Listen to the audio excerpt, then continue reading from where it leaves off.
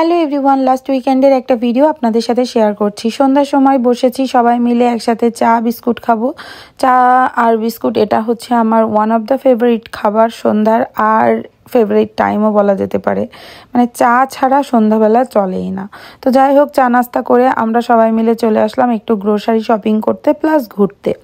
তো ফার্স্টে আসছি ওয়ালমার্টে আর এখন তো ব্ল্যাক ফ্রাইডে সেলও শুরু হয়ে গিয়েছে। এই যে আনসি বেবি আনসি বেবি খুব এনজয় করছে। যাই হোক এখন ব্ল্যাক ফ্রাইডে সেল শুরু হয়ে গিয়েছে। সামনেই থ্যাংকস গিভিন প্লাস ক্রিসমাস তো এখন বাজারে প্রচুর ভিড় হচ্ছে। মানে বাইরে মোটে যাওয়া যায় না, দোকানপাটে গেলে অনেক সময় লাইনে দাঁড়িয়ে থাকতে হয়। তো এই জন্য সুজয় বলল শুক্রবারে রাত্রেই চলো, যাতে একটু নিরিবিলি শপিং করা যায়। স্যাটারডেতে তো মোটে বাজারে ঢোকা যায় না। এত ভিড়। তো এই জন্য শুক্রবারে রাত্রেই চলে আসছি আর শুক্রবারে সুজয়ের ছুটিও থাকে, এই জন্যই আসছি।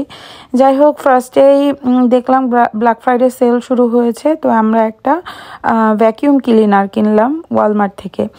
আর একটা কার্পেট ক্লিনারও দেখছি। কার্পেট ক্লিনারগুলো হচ্ছে বছরে ওই একবার, দুইবার দরকার হয়। তো এতদিন আমরা ওয়ালমার্ট থেকেই ভাড়া করে নিয়ে যে এসেই কার্পেট ক্লিন করতাম। তো সুজয় বলল, এখানে যেহেতু সেলে দিয়েছে একটা কিনে নিয়ে গেলেই হয়। আর ভ্যাকুয়াম ক্লিনার সেই আমেরিকায় আসছি দুই হাজার ষোলো সালে। সেই ধরেই একটা ভ্যাকুয়াম ক্লিনারই চলছে। সেটা এখনও নষ্ট হয়নি বাট কার্যক্ষমতা মনে হচ্ছে একটু কমে গিয়েছে। তো এই জন্য আর একটা ভ্যাকুয়াম ক্লিনার কিনলাম।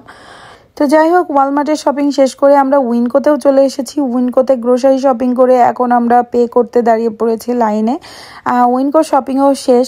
আর উইনকো থেকেই আমরা বেসিক্যালি যত গ্রোসারি আইটেম সমস্ত কিছু কিনি, এই যে।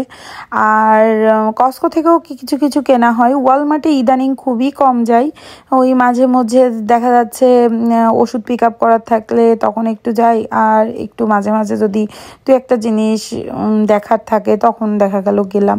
আর আমাদের একটা খুব বড় ব্যাড হ্যাবিট আছে যে আমরা যেটাই কিনতে যাই না কেন, একটু পুরো দোকানটা ঘুরে দেখে আসি কোনো সেল আছে কিনা, কোনো কিছু পাওয়া যাচ্ছে কিনা।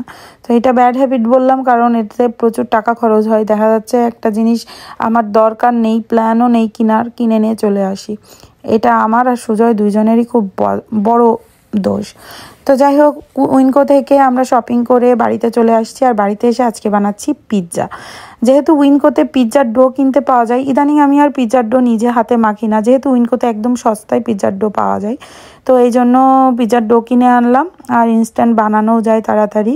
আর আমি আজকে চিকেন দিয়ে বানাচ্ছি পিৎজা কারণ সুজয় পিৎজাতে চিকেন খুবই পছন্দ করে। আর এই উইনকোর পিৎজার ডো দিয়ে বানালে কি হয়? একদম নো ফেল সব সময় একদম পারফেক্ট পিৎজা হয় দোকানের মতো। তো যাই হোক, আমি এই পিৎজাটা বসিয়ে দিলাম। আর এই যে বারো মিনিট লাগে আমার ওভেনে পিৎজা হতে বারো থেকে তেরো মিনিট লাগে। আধিরার জন্য হচ্ছে যে পাশে, আধিরা খাবে সেটাই আমি জাস্ট মাশরুম দিয়েছি। কারণ আধিরা আর কোনো কিছুই পছন্দ করে না পিৎজাতে জাস্ট মাশরুম ছাড়া। তো, ওর সাইডটুকু মাশরুম দিয়েছি। আর এই যে দেখুন, আমার পিৎজা বানানো রেডি সুন্দর হয়েছে না পিৎজাটা? একদম পারফেক্ট তো, চলুন আমরা পিৎজাটা খাওয়া দাওয়া করে নিই। তো ডিনার শেষ করে আনসিকে নিয়ে একটা ট্রানজিশন ভিডিও করলাম। এই জামাটা পরে আমি হচ্ছে প্রেগনেন্সি টাইমে ভিডিও করে রেখে দিয়েছিলাম। তো আনসিকে নিয়ে ভিডিও করতে একদম ভুলে গিয়েছি। তো আজকে এই ছয় মাস প্রায় হতে যাচ্ছে তখন আবার লাস্ট ভিডিওটা করলাম। তো যাই হোক স্যাটারডে সকালে আমরা সবাই মিলে একসাথে ব্রেকফাস্ট কমপ্লিট করে আদিরাকে নিয়ে আসছি মার্শাল আর্ট ক্লাসে আর আনসিকে ওর বাবার কাছে রেখে আসছি। কারণ আনসি ঘুমিয়েছিল আর ওর বাবাও যেহেতু বাড়িতে ছিল তো আজকে একটু আমি আর আদিরা গেলাম। এই তো সকালবেলাটা এইভাবে কেটে গেল। তারপরে বাড়িতে এসে আর রান্নাবান্না কোনো কিছু ছিল না, দরকার করার দরকার ছিল না, আগের দিনের খাবার ছিল। আর এটা সন্ধ্যাবেলায় চা খেয়েছি, আর এই যে এই বাদামগুলো, চেসনাট, এগুলা এত ভালো লাগে মানে একটু পোড়া পোড়া করে ভেজে নিলে শুকনো খোলায় একদম কাঁঠালের বিচের মতো লাগে খেতে। আর রাত্রে একটু শিক কাবাব বানালাম চিকেন দিয়ে।